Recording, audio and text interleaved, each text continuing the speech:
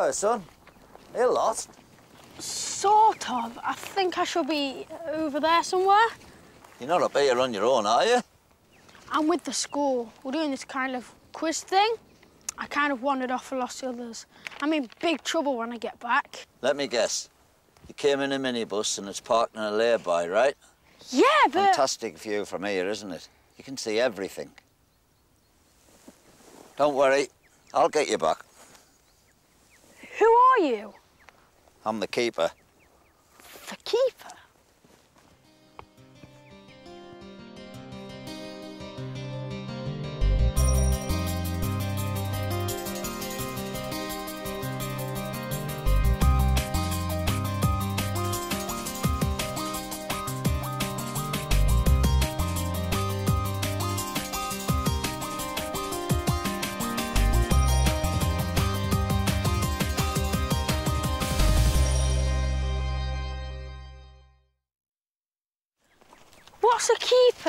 What do you keep? You see all this land out here? This is my patch. 2,000 acres, as far as the eye can see. And it's my job to look after it and manage it. Yeah, but what does a keeper do? What's your name, son? Adam. Right, Adam. I'm Fred. Now take a look around you. What do you see? Um, empty land? Sheep? Empty. That couldn't be farther from the truth. This is very much a managed landscape. Now, you see this patchwork effect across the moorland? That tells you that it's a managed piece of land. And managed by man, created by man. People like me, moorland gamekeepers, have been looking after moors like this for a couple of hundred years, particularly for the red grouse. But of course, lots of other species of birds and animals benefit also. The red grouse, you could say, is my best friend, but I'm certainly his best friend. What's a grouse? What's a grouse? Come on, I'll show you.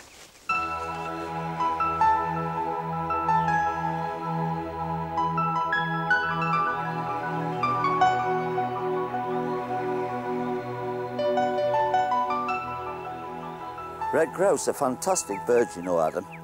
The special thing about them is you don't find them anywhere else in the world. And we can't rear them like you can with partridges and pheasants. Totally wild. And they make fantastic parents also.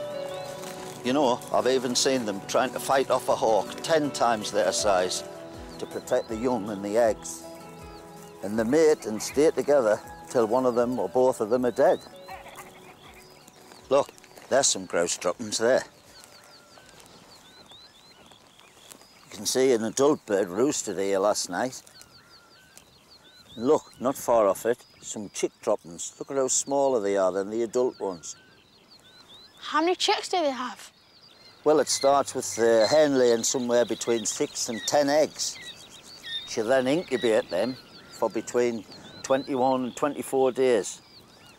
And the great thing about them is they all hatch immediately together. They don't hatch over a period of days. It all happens at once.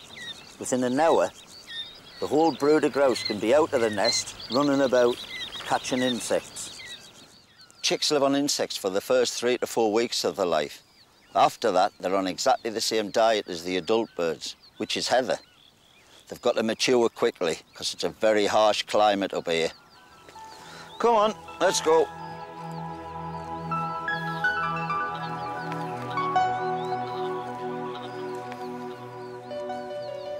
What's all this black stuff?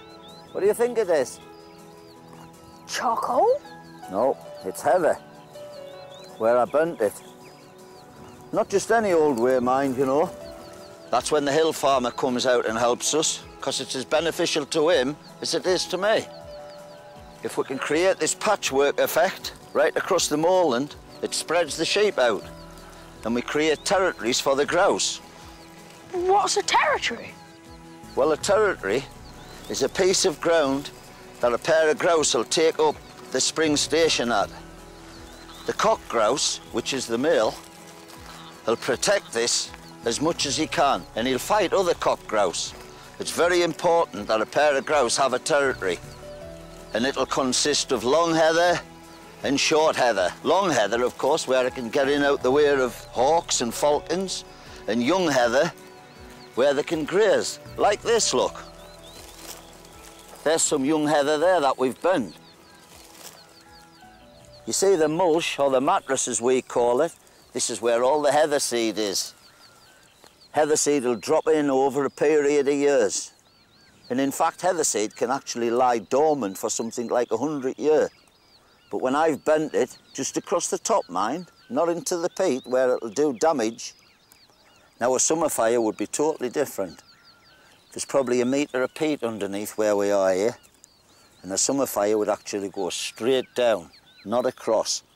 And peat burns like coal, and that would devastate the whole moorland, that. It never comes back. You can see the black on the top and the brown on the bottom of the stick. The fire's gone over the top, but what it's did was it's cracked the seed, germinated it, let in the light, and immediately we've got a growth of lovely young nutritious heather which the grouse absolutely thrive on. So there's a lot of thought goes into burning. It's not just done haphazardly. The keeper will have in his mind exactly where he wants to burn and under what wind. And it's always the autumn, the winter or the very, very early spring. See Adam, this burn's about six year old. So there's half a dozen different types of plants on it. The light stuff is the bilberry, then you've got the heather, and look, some bell heather, that's already flowered. Crowberry, which has the big black berries on it. Also, I've got several different types of mosses, including sphagnum moss. What's sphagnum moss? Sphagnum moss is what makes peat. The whole moorland structure's built up on that, and it takes thousands of years for it to build up. What did you say that stuff was? Sphagnum moss.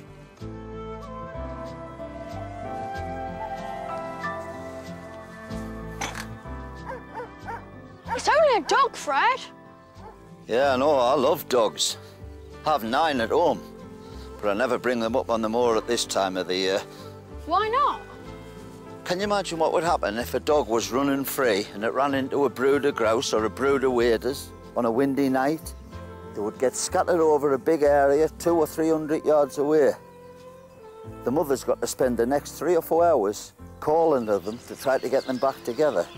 And that's when they're very susceptible to predation.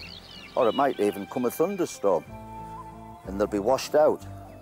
And also a sheep. If a dog chased a sheep for a two or three hundred yards, that sheep's probably pregnant and it could easily miscarry its lambs. Between March and July, the breeding season, dogs should be on a short lead at all times on open moorland. Do you know what a merlin is, Fred? Do you? Like a magician? No, come with me. I'll show you something really special and just how vulnerable ground nesting birds can be.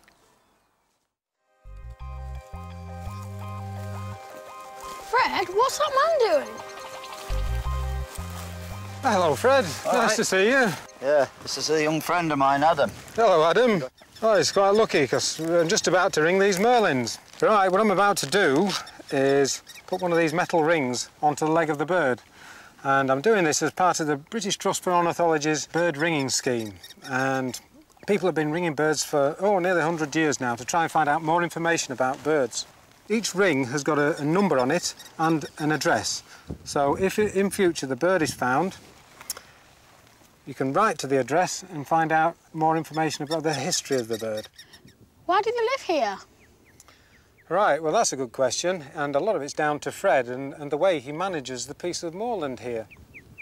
The merlins and the red grouse and the curlews that live up here, the golden plover, they're all ground nesting birds, and they're all very susceptible to mammal predators such as uh, foxes and weasels and stoats.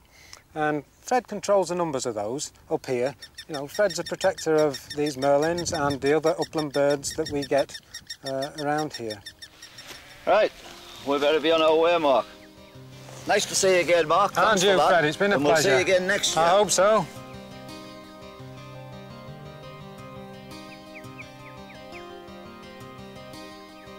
So you don't just look after grouse then, Fred?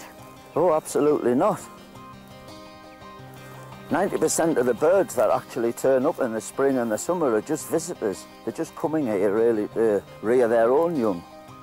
We have a very high percentage of the nesting golden plover, which come to this country. Now, if this moorland didn't exist, then golden plover wouldn't have anywhere to go. That's why the triple SIs, which means the sites of special scientific interest. Also, of course, it's very important for its insect life and invertebrates, particularly the very beautiful emperor moth.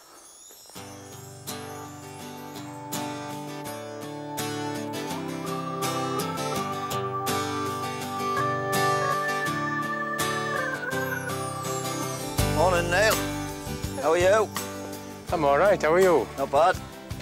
Have you got an assistant? All right, this is Adam. What about giving me hand to put this wall on? Yes, please. Thank you. This is Neil, Adam. This is our sheep farmer. He looks after the sheep on here and grazes all the land and also maintains all these walls that you see. I want to keep the sheep on the moor most of the year. And just at certain times, that's when they're lambing or when they're mating, I want to keep them in the fields. So that's why we have to build these walls up. Find some good flat stones. Try that one. Have you seen much, Neil? I've not seen many crows. No. Ah, that's it. Good. I saw a nice brood of grouse when I first came here. Oh, lovely. Well grown? Aye, they were. They fluttered off, yeah. Good. Yeah, they're good. Excellent news. Yeah. How's this regeneration plot doing, Fred? It's doing very well, Neil. Very, very well. It's grown and uh, hopefully in the next couple of years we'll be able to turn sheep back into it. Good. Anyhow, come on. We'll have to be going. Adam, can I have my gloves back? You're not going to help me to finish it? See you, Neil. All right, Adam, see you. Thanks. Fred, why do you carry a gun? Well, if I was a road sweeper, I'd carry a brush, wouldn't I? Yeah, but why do you have a gun? Listen. Curlew. There he is, look. Over there. That's just one of a few species of wading birds who come here to nest every spring and summer. There's curlew, golden plover, peewits, dunlin, snipe. And you know what? They all come under the umbrella of my protection, as well as the red grouse. Now, all these wading birds attract a lot of predators, but particularly foxes, stoats, weasels. They're all trying to get their food, so they're all predating all the wading birds. The curlew in particular is very important. He's a real keeper's friend. He'll actually follow a fox all the way across the moor, diving at them, twittering, and telling me that there's something about. That's why I carry this, for the odd opportunity that I get. And also we have the corvids, which is the crow family. Carrion crows, magpies, rooks, jackdaws, they're all egg thieves, but in particular the carrion crow. He's a real nasty. Now, a pair of carrion crows can account for somewhere up to 200 eggs. Now, that's an awful lot of wading chicks and grouse chicks, so we need to protect them. So it's important that we maintain this balance by controlling the predators. And the way we do it with the corvids is a tool that we call a Larsen trap. Can I see a trap? Yeah, come on, there's one over here.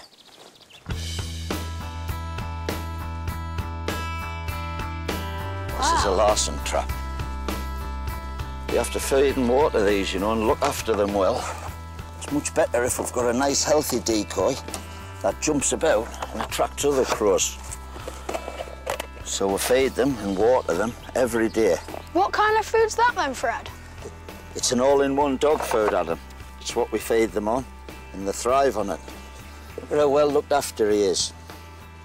What kind of bird's that then? Carrion crow. Just have a look at his beak. Look at how vicious that is. Now, not only can he kill little chicks and eat lots of eggs, but at this time of the year, and particularly early spring, and they're all having the lambs, and he'll target any weak lamb and he'll be straight there. Especially if a lamb has twins and they give birth to one and move away a little bit to give birth to another, the carrion crows will be waiting. They don't just target dead lambs, live ones, and they'll peck the eyes straight out of them. Some members of the general public tend to think they'd be doing a favour by letting this bird out.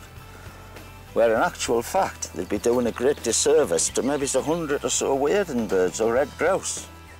How does a trap work? Come on, I'll show you.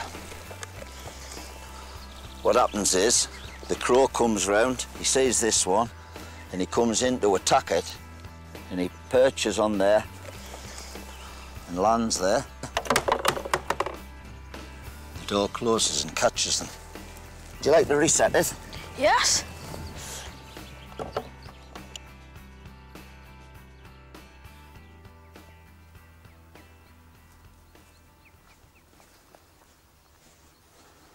Uh, don't worry, we're going to take all our litter home with us. Yeah, it's all well and good. It's not that I'm worried about, actually. It's the uh, cigarettes. Oh, one little cigarette isn't going to set the grouse moor on fire, is it? That couldn't be farther from the truth, actually, because all fires actually start as small as that cigarette. It's only a couple of years ago that that whole hillside was devastated with fire. So, if you must smoke, if you don't mind, if I could just uh, give you one of these each. All right. They're a special butt pouch, and I'd very much appreciate it if you use them. All right, OK, thanks. Yeah, yeah, sure. All right. Have a good day. Thank Enjoy you. your walk. Thanks. Is that true then? Oh, yeah. In 2003, you know, there was 30,000 acres of heather moorland went up in smoke in the summer. Devastating fires, loss of habitat, and all them wonderful birds can't come back to nest here. Of course, that's why we don't allow campfires and barbecues and things like that on the moor. Too much of a precious environment to lose. So, Adam, what do you think the fastest flying game bird is? The grouse? That's right. How fast do you think? 20 miles an hour. Oh, try 80. You could imagine a covey of grouse coming over that hill there, 10 or 15 grouse. And the guy shooting them would be lucky if he got one or two. They're so fast. You shoot them after you've looked after them so carefully. Well, we only shoot the surplus. Probably less than one in 10 gets shot. And the keeper very much decides when shooting starts and when it stops. On a very good year, on 2,000 acres, you might only shoot eight days. Sometimes it might be only two or three days. And on a very bad breeding year, you might not shoot at all. If I say there isn't enough grouse to shoot, we don't shoot. Well, Adam, what do you reckon? I'm still thinking about it. I suppose it's like having a chicken for a Sunday lunch, except these birds are wild. Well, I'll tell you, these red grouse will have a much better life than any factory farmed chicken. The minibus!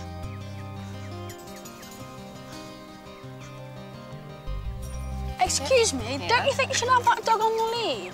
Why? Didn't you see the sign? What sign? And don't say there aren't any sheep, because they're just over the hill. Well, if you say so. There could be ground nesting birds anywhere. Oh, God. Sorry. Here, Pim. Come here. Adam? Here. There's a little memento of your visit to keep, Thank you. okay?